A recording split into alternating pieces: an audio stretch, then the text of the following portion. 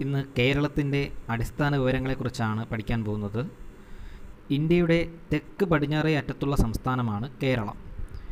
കൃത്യമായി പറഞ്ഞാൽ ഇന്ത്യയുടെ തെക്ക് പടിഞ്ഞാറ് ഭാഗത്തായിട്ടാണ് കേരളം സ്ഥിതി ചെയ്യുന്നത്. മനസ്സിലാക്കുക ഇന്ത്യയുടെ തെക്ക് പടിഞ്ഞാറ് ഭാഗത്തായിട്ടാണ് കേരള സംസ്ഥാനം സ്ഥിതി ചെയ്യുന്നത്. ആയിരത്തി തൊള്ളായിരത്തി അൻപത്തി ആറ് നവംബർ ഒന്നാം തീയതിയാണ് കേരള സംസ്ഥാനം രൂപീകൃതമായത്. ആയിരത്തി തൊള്ളായിരത്തി അൻപത്തിയാറ് നവംബർ ഒന്നാം തീയതിയാണ് കേരള സംസ്ഥാനം രൂപീകൃതമായത്. പരീക്ഷയ്ക്ക് അല്പം വ്യത്യാസപ്പെടുത്തി ചോദിക്കാം. ഏത് നിയമത്തിന്റെ അടിസ്ഥാനത്തിലാണ് കേരള സംസ്ഥാനം രൂപീകൃതമായത്? അറിഞ്ഞിരിക്കുക സംസ്ഥാന പുനഃസംഘടനാ നിയമപ്രകാരമാണ് ആയിരത്തി തൊള്ളായിരത്തി അൻപത്തിയാറ് നവംബർ ഒന്നാം തീയതി കേരള സംസ്ഥാനം രൂപീകൃതമായത്. സംസ്ഥാന പുനഃസംഘടനാ നിയമപ്രകാരം പതിനാല് സംസ്ഥാനങ്ങളും ആറ് കേന്ദ്രഭരണ പ്രദേശങ്ങളുമാണ് അന്ന് ഇന്ത്യയിൽ പുതിയതായി രൂപീകൃതമായത്. ഭൂമിശാസ്ത്രപരമായി കേരളത്തിന്റെ സ്ഥാനം പരിശോധിക്കുകയാണെങ്കിൽ ഉത്തര അക്ഷാംശം എട്ട് ഡിഗ്രി പതിനേഴ് മിനിറ്റ് മുപ്പത് സെക്കൻഡ് മുതൽ പന്ത്രണ്ട് ഡിഗ്രി നാൽപ്പത്തിയേഴ് മിനിറ്റ് നാൽപ്പത് സെക്കൻഡ് വരെയാണ്. പൂർവരേഖാംശം എഴുപത്തിനാല് ഡിഗ്രി ഇരുപത്തിയേഴ് മിനിറ്റ് നാൽപ്പത് സെക്കൻഡ് മുതൽ എഴുപത്തിയേഴ് ഡിഗ്രി ഇരുപത്തിയേഴ് മിനിറ്റ് പന്ത്രണ്ട് സെക്കൻഡ് വരെയാണ്. കേരളത്തിന്റെ വിസ്തീർണം പരിശോധിച്ചാൽ മുപ്പത്തി എണ്ണായിരത്തി എണ്ണൂറ്റി അറുപത്തി മൂന്ന് ചതുരശ്ര കിലോമീറ്ററാണ്. അറിയുക മുപ്പത്തി എണ്ണായിരത്തി എണ്ണൂറ്റി അറുപത്തി മൂന്ന് ചതുരശ്ര കിലോമീറ്ററാണ് കേരളത്തിന്റെ വിസ്തീർണമെന്ന് പറയുന്നത്. നമ്മുടെ കേരള സംസ്ഥാനം ഇന്ത്യൻ യൂണിയന്റെ ഒന്ന് ദശാംശം ഒന്ന് എട്ട് ശതമാനമാണ്. ഇത് നന്നായിട്ട് അറിഞ്ഞിരിക്കുക. നമ്മുടെ ഇന്ത്യൻ യൂണിയന്റെ ഒന്ന് പോയിന്റ് ഒന്ന് എട്ട് ശതമാനമാണ് കേരള സംസ്ഥാനത്തിന്റെ ഭൂപ്രദേശം എന്ന് പറയുന്നത്. അഞ്ഞൂറ്റി എൺപത് കിലോമീറ്ററാണ് കേരളത്തിന്റെ തീരദേശ ദൈർഘ്യം എന്ന് പറയുന്നത്. അഞ്ഞൂറ്റി എൺപത് കിലോമീറ്റർ ദൂരമാണ് കേരളത്തിന്റെ തീരദേശ ദൈർഘ്യം. ഇനി കേരളത്തിന്റെ തെക്ക് വടക്ക് ദൂരം പരിശോധിച്ചാലോ? അഞ്ഞൂറ്റി അറുപത് കിലോമീറ്ററാണ് കേരളത്തിന്റെ തെക്ക് വടക്ക് ദൂരം. അപ്പോൾ കേരളത്തിന്റെ തീരപ്രദേശ ദൈർഘ്യം അഞ്ഞൂറ്റി എൺപത് കിലോമീറ്ററും കേരളത്തിന്റെ തെക്ക് വടക്ക് ദൂരം അഞ്ഞൂറ്റി അറുപത് കിലോമീറ്ററുമാണ്. കേരളത്തിലെ ജനസംഖ്യയിലേക്ക് വരികയാണെങ്കിൽ മൂന്ന് കോടി മുപ്പത്തിനാല് ലക്ഷത്തി ആറായിരത്തി അറുപത്തി ഒന്ന് ആണ് കേരളത്തിലെ ജനസംഖ്യ എന്ന് പറയുന്നത്. സാധാരണ മൂന്നര കോടി എന്ന് നമ്മൾ പറയാറുണ്ട്. കൃത്യമായി പറഞ്ഞു കഴിഞ്ഞാൽ മൂന്ന് കോടി മുപ്പത്തിനാല് ലക്ഷത്തി ആറായിരത്തി അറുപത്തി ഒന്നാണ് കേരളത്തിലെ ജനസംഖ്യ എന്ന് പറയുന്നത്. ഇന്ത്യൻ ജനസംഖ്യയുടെ രണ്ട് പോയിന്റ് ഏഴ് ആറ് ശതമാനമാണ് കേരളത്തിലെ ജനസംഖ്യ എന്ന് പറയുന്നത്. ഈ വാല്യൂസൊക്കെ നന്നായിട്ട് പഠിച്ചു വെക്കുക. ഇന്ത്യൻ ജനസംഖ്യയുടെ രണ്ട് പോയിന്റ് ഏഴ് ആറ് ശതമാനമാണ് കേരളത്തിലെ ജനസംഖ്യ എന്ന് പറയുന്നത്. ജനസംഖ്യയുടെ അടിസ്ഥാനത്തിൽ ഇന്ത്യൻ സംസ്ഥാനങ്ങൾക്കിടയിൽ കേരളത്തിന് പതിമൂന്നാം സ്ഥാനമാണ് ഉള്ളത്. ഇനി സ്ത്രീ പുരുഷാനുപാതത്തിലേക്ക് വരികയാണെങ്കിൽ ആയിരത്തി എൺപത്തി നാല് ബാർ ആയിരമാണ് കേരളത്തിലെ സ്ത്രീ പുരുഷാനുപാതം എന്ന് പറയുന്നത്. ഇന്ത്യയിൽ തന്നെ ഉയർന്ന സ്ത്രീ പുരുഷാനുപാതമുള്ള സംസ്ഥാനമാണ് കേരളം എന്ന് പറയുന്നത്.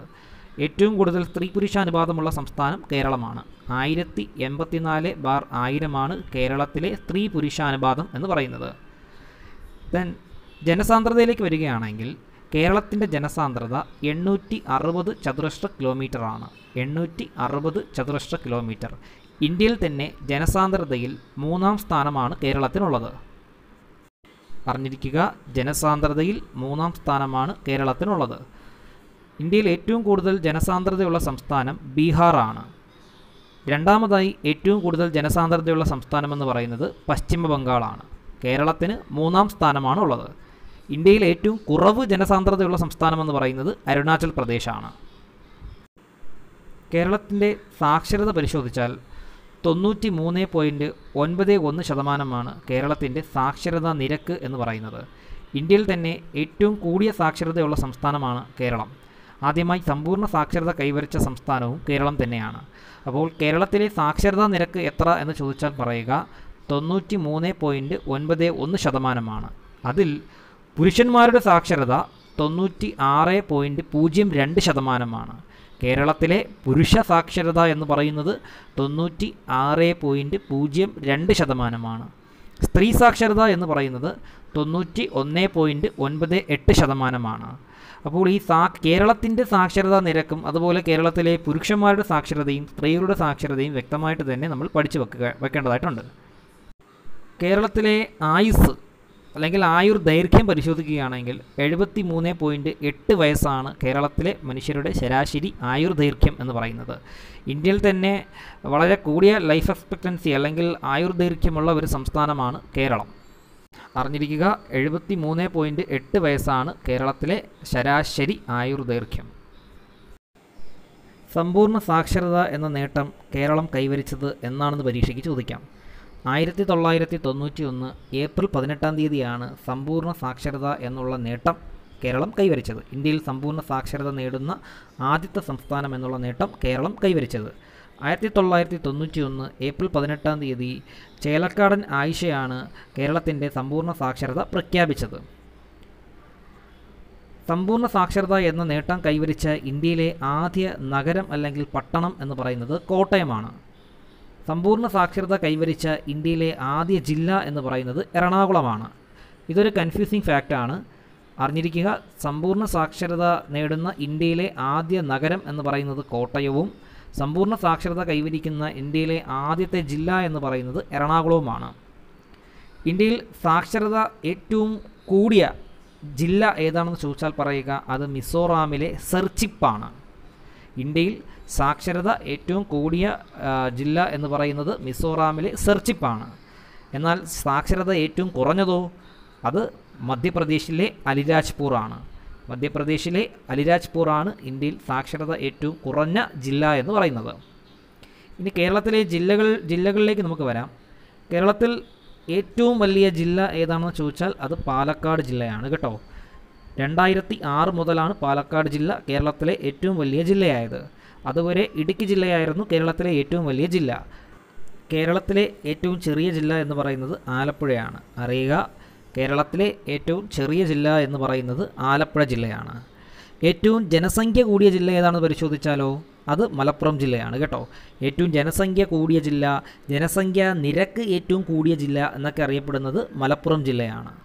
ജനസംഖ്യ ഏറ്റവും കുറഞ്ഞ ജില്ല എന്ന് പറയുന്നത് വയനാട് ജില്ലയാണ് കേട്ടോ. ജനസംഖ്യ കുറഞ്ഞ ജില്ല വയനാടാണ് ജനസംഖ്യ നിരക്ക് കുറഞ്ഞ ജില്ല പത്തനംതിട്ടയാണ്. അറിയുക ജനസംഖ്യ ഏറ്റവും കുറഞ്ഞ ജില്ല വയനാട് ജനസംഖ്യ വളർച്ചാ നിരക്ക് ഏറ്റവും കുറഞ്ഞ ജില്ല പത്തനംതിട്ട ജില്ലയാണ്. പത്തനംതിട്ട ജില്ല എന്ന് പറഞ്ഞു കഴിഞ്ഞാൽ ഇന്ത്യയിൽ ആദ്യമായിട്ട് സീറോ ജനസംഖ്യ വളർച്ചാ നിരക്ക് എന്നുള്ള നേട്ടം കൈവരിച്ച ജില്ല കൂടിയാണ്.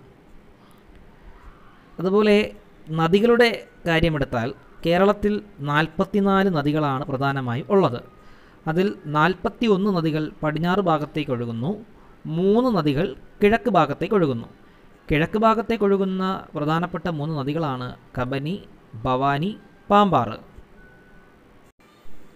അതുപോലെ കേരളത്തിൽ തീരപ്രദേശങ്ങളുള്ള ജില്ലകളുടെ എണ്ണം എത്ര? അല്ലെങ്കിൽ കടലുള്ള ജില്ലകളുടെ എണ്ണം എത്ര എന്ന് ചോദിച്ചാൽ ഒൻപത് ജില്ലകളിലാണ് കേരളത്തിൽ തീരപ്രദേശമുള്ളത്.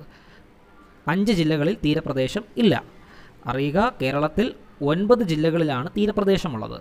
ഏറ്റവും കൂടുതൽ തീരപ്രദേശ ദൈർഘ്യമുള്ള ജില്ല കണ്ണൂർ ജില്ലയാണ്. കണ്ണൂർ ജില്ലയിൽ എൺപത്തി രണ്ട് കിലോമീറ്ററോളം ദൂരം തീരപ്രദേശം ഉണ്ട്. ഏറ്റവും കുറവ് തീരപ്രദേശമുള്ളത് കൊല്ലം ജില്ലയ്ക്കാണ്. കൊല്ലം ജില്ലയിൽ മുപ്പത്തിയേഴ് കിലോമീറ്റർ ദൂരം മാത്രമേ തീരപ്രദേശം കാണുന്നുള്ളൂ. ഞാൻ ഇവിടെ കണ്ണൂർ കണ്ണൂരിന്റെ അടുത്തായിട്ട് ഒരു അപ്പ് ആരോയും കൊല്ലത്തിന്റെ സൈഡിലായിട്ട് ഡൗൺ ആരോയും കൊടുത്തിട്ടുണ്ട്. അപ്പ് ആരോ സൂചിപ്പിക്കുന്നത് കൂടുതലും ഡൗൺ ആരോ സൂചിപ്പിക്കുന്നത് കുറവും എന്നാണ് കേട്ടോ. ഇനി കേരളത്തിലെ കായലുകൾ എടുത്താലോ? കേരളത്തിൽ ആകമാനം മുപ്പത്തിനാല് കായലുകളാണ് ഉള്ളത് അറിഞ്ഞിരിക്കുക മുപ്പത്തിനാല് ലേക്സ് ആണ് കേരളത്തിൽ ഉള്ളത്. അതിൽ ഇരുപത്തിയേഴ് കായലുകൾ ട്വന്റി സെവൻ ലേക്സ് കടലുമായി നേരിട്ട് ബന്ധപ്പെട്ട് കിടക്കുന്നു. ഇത് പരീക്ഷയ്ക്ക് ചോദിക്കാം കേട്ടോ. ഇരുപത്തിയേഴ് കായലുകളാണ് നേരിട്ട് കടലുമായി ബന്ധപ്പെട്ട് കിടക്കുന്നത്. കേരളത്തിലെ ഏറ്റവും വലിയ കായൽ എന്ന് പറയുന്നത് വേമ്പനാട്ട് കായലും ഏറ്റവും ചെറിയ കായൽ എന്ന് പറയുന്നത് പൂക്കോട് തടാകവുമാണ്. അറിഞ്ഞിരിക്കുക കേരളത്തിലെ ഏറ്റവും വലിയ കായൽ എന്ന് പറയുന്നത് വേമ്പനാട് കായലും ഏറ്റവും ചെറിയ കായൽ എന്ന് പറയുന്നത് പൂക്കോട് തടാകവുമാണ്. പൂക്കോട് തടാകത്തിന്റെ പ്രത്യേകത എന്തെന്നാൽ സമുദ്രനിരപ്പിൽ നിന്നും ഏറ്റവും ഉയരത്തിലായി സ്ഥിതി ചെയ്യുന്ന തടാകം കൂടിയാണ് പൂക്കോട് തടാകം എന്ന് പറയുന്നത്. വയനാട് ജില്ലയിലാണ് പൂക്കോട് തടാകം സ്ഥിതി ചെയ്യുന്നത്. ഇനി കേരളത്തിന്റെ അതിർത്തികളെക്കുറിച്ച് പരിശോധിച്ചാലോ? പടിഞ്ഞാറ് ഭാഗത്ത് അറബിക്കടലാണ്. നമ്മളിത് ചെറിയ ക്ലാസ്സുകൾ മുതലേ പഠിക്കുന്നതാണ് അല്ലേ?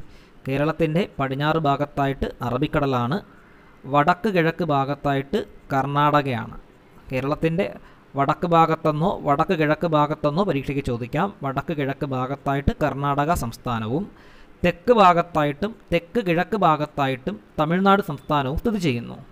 അതിൽ തെക്ക് കിഴക്ക് ഭാഗത്തായിട്ട് പശ്ചിമഘട്ടവും സ്ഥിതി ചെയ്യുന്നു. പശ്ചിമഘട്ടത്തിനപ്പുറമായിട്ട് തമിഴ്നാടും സ്ഥിതി ചെയ്യുന്നു. അറിഞ്ഞിരിക്കുക. കേരളത്തിന്റെ ശരാശരി വീതി അതായത് കേരളത്തിന്റെ കിഴക്ക് മുതൽ പടിഞ്ഞാറ് വരെയുള്ള ശരാശരി വീതി എന്ന് പറയുന്നത് മുപ്പത്തിയഞ്ച് കിലോമീറ്റർ മുതൽ നൂറ്റി ഇരുപത്തിയഞ്ച് കിലോമീറ്റർ വരെയാണ്. അറിഞ്ഞിരിക്കുക കേരളത്തിന്റെ വീതിയെന്നോ കേരളത്തിന്റെ ശരാശരി വീതിയെന്നോ കിഴക്ക് മുതൽ പടിഞ്ഞാറ് വരെയുള്ള ശരാശരി ദൂരമെന്നോ ഒക്കെ ചോദിക്കാൻ പരീക്ഷയ്ക്ക്. അപ്പോൾ മുപ്പത്തി അഞ്ച് കിലോമീറ്റർ മുതൽ നൂറ്റി ഇരുപത്തിയഞ്ച് കിലോമീറ്റർ ദൂരം വരെയാണ് കേരളത്തിന്റെ കിഴക്ക് പടിഞ്ഞാറ് ശരാശരിയുള്ള ദൂരം എന്ന് പറയുന്നത്. ഇനി നമ്മൾ നേരത്തെ ജനസാന്ദ്രതയുടെ കാര്യം പറഞ്ഞല്ലോ. കേരളത്തിൽ ഏറ്റവും കൂടുതൽ ജനസാന്ദ്രതയുള്ള ജില്ല എന്ന് പറയുന്നത് തിരുവനന്തപുരം ജില്ലയാണ് കേട്ടോ. തിരുവനന്തപുരം ജില്ലയാണ് കേരളത്തിൽ ഏറ്റവും കൂടുതൽ ജനസാന്ദ്രതയുള്ള ജില്ല എന്ന് പറയുന്നത്. ആയിരത്തി അഞ്ഞൂറ്റി ഒൻപത് ചതുരശ്ര കിലോമീറ്ററാണ് തിരുവനന്തപുരം ജില്ലയിലെ ജനസാന്ദ്രത. ഇനി ജനസാന്ദ്രത ഏറ്റവും കുറവുള്ള ജില്ല ഏതാണെന്ന് പരിശോധിച്ചാലോ? അത് ഇടുക്കി ജില്ലയാണ്. ഇടുക്കി ജില്ലയുടെ ജനസാന്ദ്രത എന്ന് പറയുന്നത് ഇരുന്നൂറ്റി അൻപത്തിനാല് ചതുരശ്ര കിലോമീറ്ററാണ് കേട്ടോ. ഇരുന്നൂറ്റി അൻപത്തിനാല് ചതുരശ്ര കിലോമീറ്ററാണ് ഇടുക്കി ജില്ലയുടെ ജനസാന്ദ്രത എന്ന് പറയുന്നത്. അതുപോലെ ഞാൻ നേരത്തെ പറഞ്ഞല്ലോ ജനസംഖ്യ വളർച്ചാ നിരക്ക് ഏറ്റവും കൂടുതലുള്ള ജില്ല മലപ്പുറവും ജനസംഖ്യ വളർച്ചാ നിരക്ക് ഏറ്റവും കുറവുള്ള ജില്ല എന്ന് പറയുന്നത് പത്തനംതിട്ടയുമാണ്. അപ്പോൾ നമ്മൾ ഇത്രയും നേരം പഠിച്ച എല്ലാ ചോദ്യങ്ങളും വളരെ ബേസിക് ആയിട്ടുള്ള ഫാക്ട്സ് ആണ്. നമ്മൾ അല്പം ശ്രദ്ധിച്ചാൽ ശ്രദ്ധിച്ചില്ലെങ്കിൽ മാർക്ക് നഷ്ടപ്പെടാനും സാധ്യതയുണ്ട്. അതുകൊണ്ട് ഇത് എല്ലാവരും നന്നായിട്ട് പഠിക്കുക. സുബു ഒജു പ്ലസിന്റെ ഈ ക്ലാസ് ഇഷ്ടമായാൽ കൂട്ടുകാർക്ക് ഷെയർ ചെയ്യുക ലൈക്ക് ചെയ്യുക സബ്സ്ക്രൈബ് ചെയ്യുക.